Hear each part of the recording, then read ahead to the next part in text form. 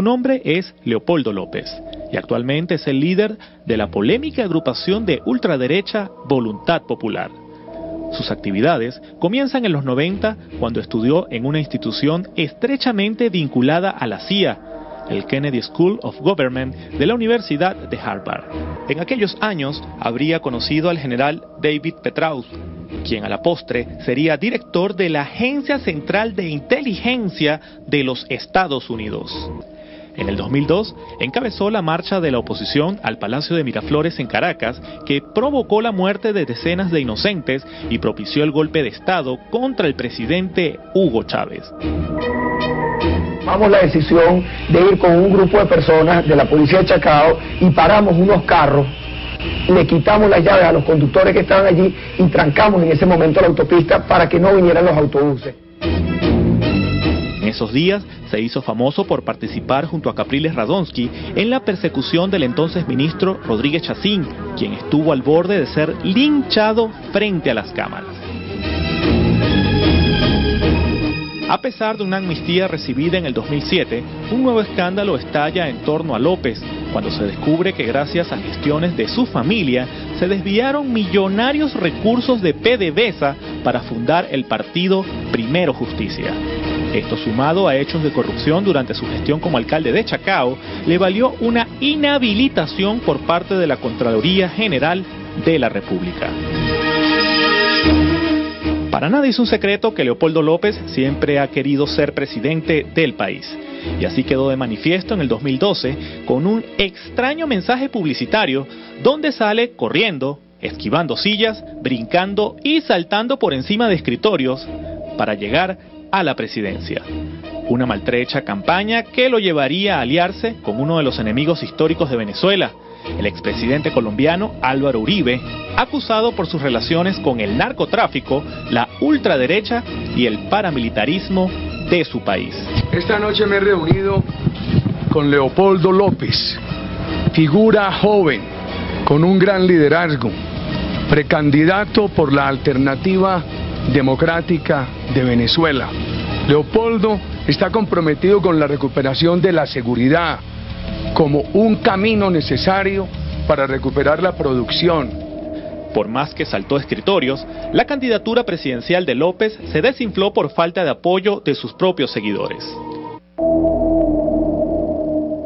En 2013, López fue señalado de integrar la Trilogía del Mal, grupo conspirativo que junto a Capriles Radonsky y María Corina Machado tenía por objeto destruir la revolución bolivariana y convertir las elecciones municipales del 8 de diciembre en un plebiscito. 8 en la noche o el gobierno cambia o el pueblo le pasa por encima del gobierno. ¡Que lo sepa Nicolás Maduro!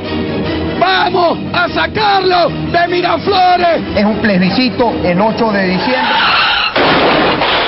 Sin embargo, al final, para su sorpresa, el publicitado plebiscito se convirtió en un boomerang en su contra y la trilogía del mal sufrió una humillante derrota de más de 1.2 millones de votos de diferencia frente a la revolución, que ganó bajo la guía del presidente Maduro en más del 70% de las alcaldías de Venezuela.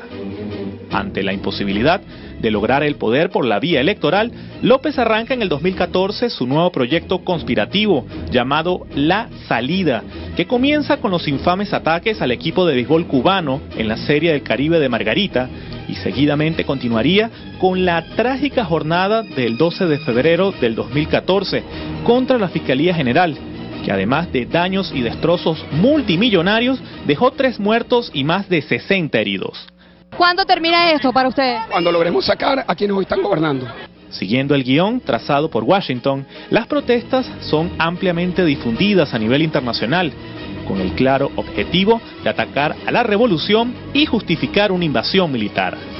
Sin embargo, repentinamente la historia de Leopoldo López dio un extraño giro tras el inicio de esta nueva ofensiva violenta, ya que seis días luego reaparecería ante las cámaras, entregándose pacíficamente a las autoridades e inclusive caminando al lado del presidente del Parlamento, Diosdado Cabello, para ponerse a las órdenes de la justicia de nuestro país.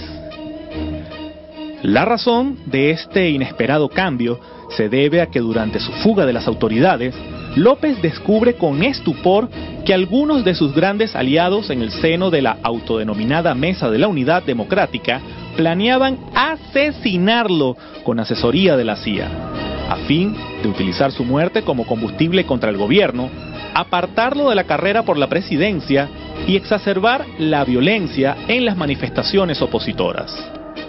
Habían grandes amenazas de que querían asesinar a Leopoldo López y se mostró, el gobierno se mostró preocupado por esta situación y se comunicó con la familia para resguardar, resguardar la seguridad de Leopoldo y así fue. Resguardaron eh, la seguridad de Leopoldo desde el lugar de la Plaza Orión hasta el Palacio de Justicia. Ahora la situación para López luce complicada, primero porque las manifestaciones violentas siguen estancadas y solo son seguidas por los jóvenes de las clases medias y altas. Segundo, porque cada vez la población rechaza más estos actos vandálicos sin sentido. Tercero, porque luce poco probable que López vuelva a confiar plenamente en sus aliados políticos. Y cuarto, porque la revolución se ha mantenido en la calle, organizando sin muchos problemas grandes concentraciones que duplican o triplican las de la oposición. La unidad de mando del presidente Maduro se mantiene fuerte, movilizada y sin fisuras en torno a la gran misión de proteger las reivindicaciones sociales históricas logradas por el pueblo venezolano en revolución. No, no, no basta rezar, hacen falta muchas cosas.